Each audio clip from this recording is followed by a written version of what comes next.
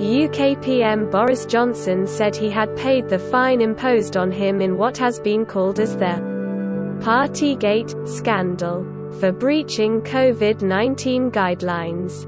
I have paid the fine and I once again offer a full apology, he said.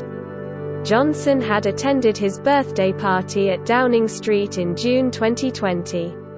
Violating COVID-19 curbs. Subscribe to the channel for more news.